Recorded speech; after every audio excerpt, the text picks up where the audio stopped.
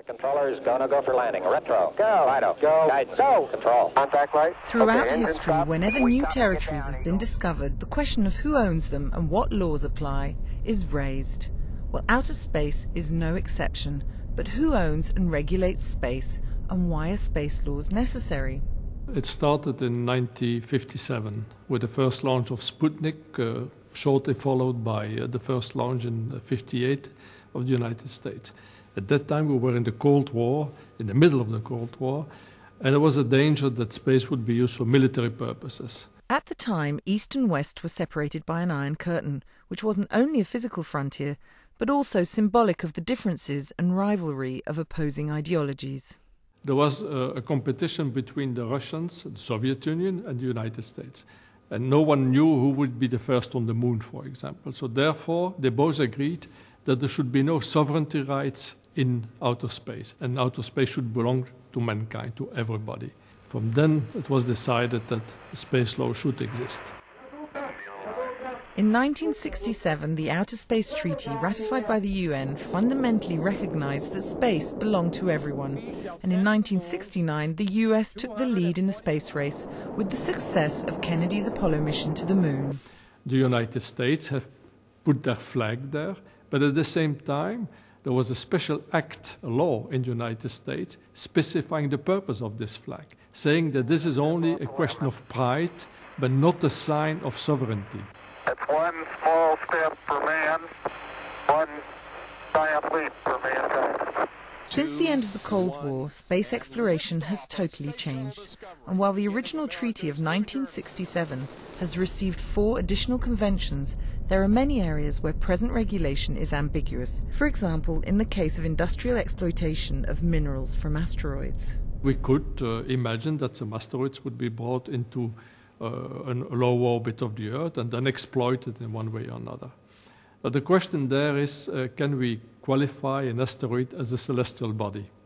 If it's a celestial body, then it falls under the Outer Space Treaty. If it's not a celestial body, then you can argue it's not under the Outer Space Treaty. And in such case, uh, exploitation maybe could be, could be open.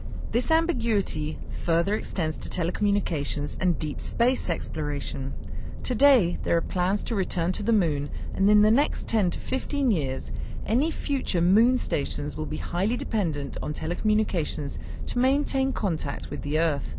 At the moment, regulating this technology falls to the International Union of Telecommunications. If several nations want to go to the moon independently, uh, the United States, Japan, Russia, China, Europe, this means that five different signals will be sent to the moon and come back. Now, and this all within a certain very limited frequency band.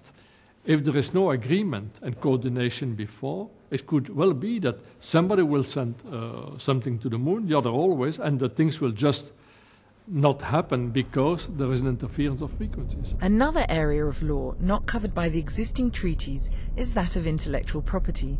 This is particularly relevant to the International Space Station, where at the moment developments in research are covered by the law of each participating country. Only European countries are covered by a common law on intellectual property in space. The space station, the, the treaty, the interna- international governmental agreement, also provides that for certain aspects the nationality will play a role. Meaning, if the American moves from the American part to the European part, it's few, a few meters, the law will change. And you see that this is, of course, very complex, and this really shows the need that we should uh, invent other concepts for ruling uh, those things in outer space. Finally, let's not forget the question of space debris. After 50 years of space exploration, there's lots of stuff of every size and shape floating in orbit around the Earth, from sections of launchers to satellites that have become inactive. There are no existing laws that cover this type of pollution at the moment, and if there were, who would enforce them? When the space treaty was uh, drafted, all uh, activities were governmental activities. Today, most of the activities are private activities. All telecommunications are almost private today. The launchers are private, Arianespace, Starsem, Sea Launch, private organizations. And therefore, the space treaty is not matching anymore the reality. And there would be a need to review the space treaty.